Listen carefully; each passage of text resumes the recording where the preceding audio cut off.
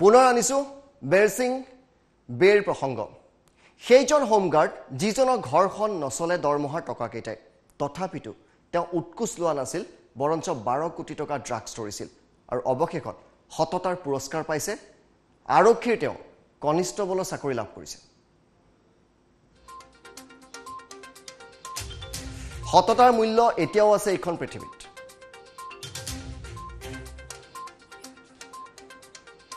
সততাৰ পৰিচয় দিয়া বৰসিং বেৰ চাকৰি লাভ। অসম আৰক্ষীয়ে কনিষ্টবল পদত নিযুক্তি দিছে বৰসিং বেক। হোমগাৰ্ডৰ পৰা এতিয়া কনিষ্টবল হ'ল বৰসিং বেগ উৎকোচ প্ৰত্যাখ্যান কৰি বাৰ কোটি ড্ৰাগছ ধৰিছিল এইগৰাকী হোমগাৰ্ডে। দৰমহাৰ টকাৰে তেওঁ ঘৰ নচলে তৎসত্বেও উৎকোচ গ্ৰহণ কৰা নাছিল। অসম আৰক্ষীয়ে এক লাখ টকাৰে পুৰস্কৃতও কৰিছে হোমগাৰ্ডজন। আৰু অৱশেষত বৰসিং বেগ কনিষ্টবল চাকৰি দিলে অসম আৰক্ষীয়ে। আজি আনুষ্ঠানিকভাৱে চাকৰিত নিযুক্তি লাভ কৰাৰ সম্ভাৱনা আছে বৰসিং বেগ।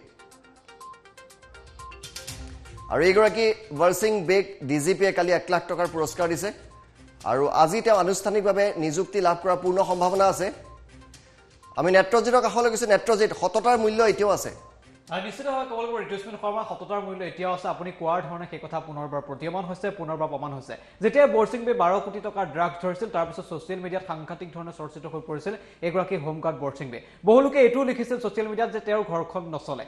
আৰু হোমগাৰ্ডৰ টকাকেইটাই তেওঁ ঘৰখন নচলে অশেষ কষ্ট কৰি আছিল। কিন্তু সেই যি তামিল মহিলা সেই তামিল মহিলাই তেওঁক উৎকোচ দিবলৈ লৈছিল। কিন্তু সেই উৎকোচ তেওঁ প্ৰত্যাখ্যান কৰিছিল আৰু বাৰ কোটি টকাৰ তেওঁৰ ড্ৰাগছ জব্দ কৰাৰ পাছতে সৰ্বত্ৰ চৰ্চিত হৈ পৰিছিল। আৰু আজি এক প্ৰকাৰ ক'বলৈ গ'লে কালিৰ দিনটোত যে এক লাখ টকাৰ পুৰস্কাৰ দিয়া হ'ল কেৱল অসম আৰক্ষীৰ ফালৰ পৰা যি পুৰস্কাৰ দিয়া হ'ল সেয়াই নহয় কাৰ্বি অট'নমাছ কাউন্সিলৰ ফালৰ পৰা তেওঁক পুৰস্কৃত কৰা হৈছে। বিভিন্ন প্ৰান্তৰ পৰা তেওঁক পুৰস্কৃত কৰা হৈছে। আৰু অৱশেষত আমি এক প্ৰকাৰ পদোন্নতি বুলিও ক'ব পাৰোঁ যে তেওঁক আৰক্ষী কনিষ্টবলত নিযুক্তি দিয়াৰ পূৰ্ণ সম্ভাৱনা আছে। আজিৰ দিনটোত আনুষ্ঠানিকতা মাত্ৰ বাকী আছে।